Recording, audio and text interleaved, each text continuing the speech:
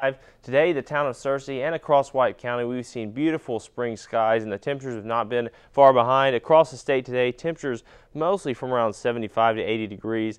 Around Little Rock, 79. Brinkley hit about 78. Russellville, 79. But across Arkansas, currently it's about 75 in Fayetteville, Little Rock around 75. And here in Searcy, feels like 75. Sky is perfectly clear. Humidity sits at a relative 43%, and the, the wind is pretty calm, coming from the south and southwest at about 5 miles an hour.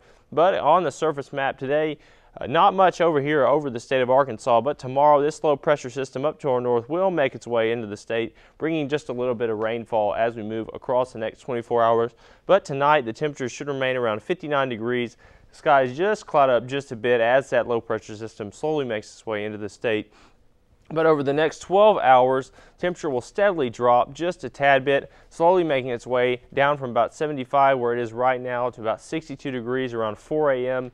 Tomorrow, that low pressure system is going to get here rather quickly, bringing just a little bit of disturbance, as you can see, off to our west. So far, we are in the yellow polygon, which indicates just a higher bit of severe weather potential.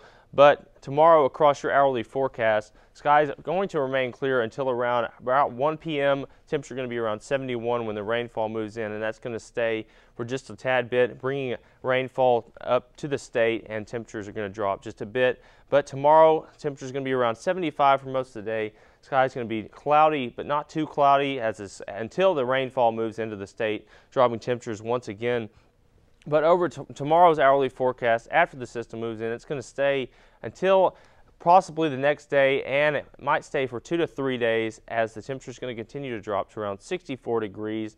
Uh, tomorrow's severe risk is going to be just a little bit enhanced off to our west. We are in the slight region, which means our potential is up to about 10% for severe weather as the surface map indicates, this low pressure system is going to push its way through the state, pushing the severe weather off to our east on Thursday, leaving our potential lower just a tad bit to about 5% for severe weather. So thankful for that. And for Thursday, there you go, we're in the 5% margin, which is indicated by the green polygon on the surface map.